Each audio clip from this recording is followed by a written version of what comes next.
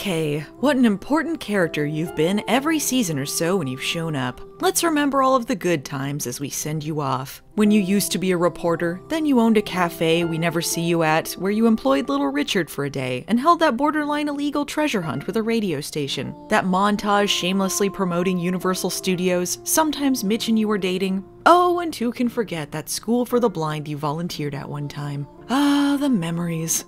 But now it's over. Thank God we have one last memory to make with you today, in a boring episode about a surfer you knew who died. Thanks for whatever you did, Kaye. Kaye might be sailing away from Baywatch's shores, but don't you worry, Pamela Bach fans, because she will show up in two other episodes as two other characters, and in a Baywatch Nights episode as a third character, because I guess we're just not supposed to notice she prominently recurred on the show before. I feel like such a bummer lately, guys, but unfortunately, this episode plays like cancer. And I don't just say that because one of the plots literally is about cancer.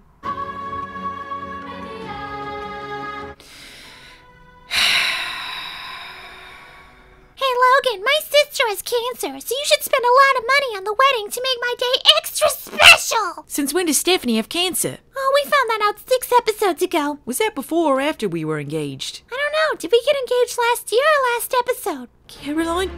Are, are we characters in a TV show? Oh my god! Ah! Meanwhile, Neely wants Logan to help her produce a poster as a follow up to her photo shoot with Inside Sports. She wants him to work the business end to raise money and develop a marketing strategy and a distribution deal for her poster? Like a, a poster deal? Or, I mean, is he her agent? Or is this just like a poster market? Is Inside Sports even involved? Because you kind of need their permission to use their photos. I'm confused about everything. It's a genius plan, Logan. Just think of the money we'll be rolling in if we corner the single bootleg poster distribution market. Neely might be an incredible supervillain, but she's pretty bad at business if she claims this is Logan's area of expertise. His one business venture so far has been stealing his friend's swimsuit designs, sleeping with a rich guy's daughter to try and sell them, and then getting written out of the deal altogether for being a thief. Hey, Steph, we're have to rearrange the schedule. Newmie is not available. You're not a Steph. And I would know, I'm a detective. So Stephanie is going to get the cancer scooped out of her leg finally, and then it'll be determined if it's localized or if she's got something more to worry about. Her boyfriend, Dr. Tom, lets Mitch know what her prospects are as if he's discussing a car he just purchased. If it spreads to lymph glands, the survival rate drops to 14%. 14%?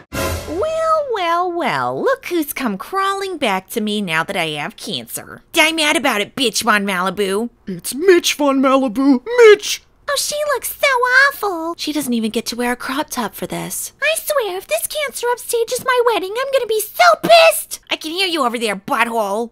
I mean, at least Stephanie put on a full face of makeup for this so she can be ready for the cancer photo shoot afterwards. Shall we?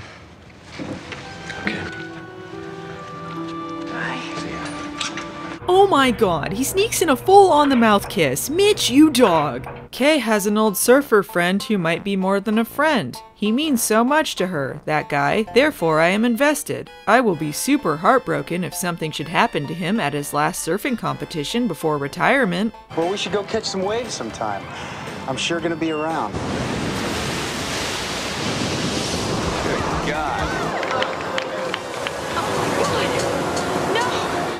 No!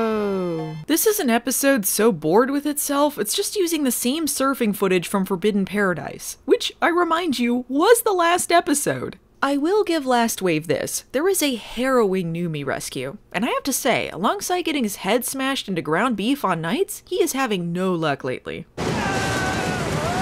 Okay, I spoke to the doctor who performed the autopsy on Wes. He said he died from a blow to his head. So you can't blame me for this one. Meanwhile, on a lighter note, cancer. Oh, it's you two. Oh, well, at least you got to see how much better at cancer I am than you. Well, after all of that build-up, Stephanie is cancer-free, baby. She will enjoy many more seasons of Baywatch to come, and nothing bad will ever happen to her. Her melanoma did not reach the lymph nodes. Yeah, someone tell Hulk Hogan I'm gonna be okay. I know he was worried. Congratulatory crop tops for everyone.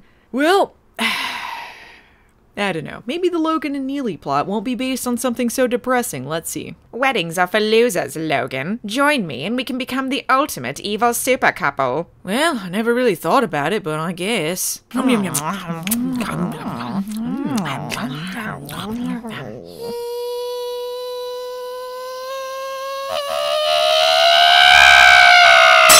Well, that engagement didn't even last a whole episode. Pretty cool conclusion to that story. Hope her big sister doesn't overshadow her with her own engagement. Will you marry me? Yes. This won't stand! Caroline reverses and ruins Stephanie's engagement announcement with her breakup announcement. Logan and I are not getting married because we just broke up. Eh. Well, at least Kaye's story ends on a good note with her crying and never seen on the show again. See you as your next character, Hoffwife.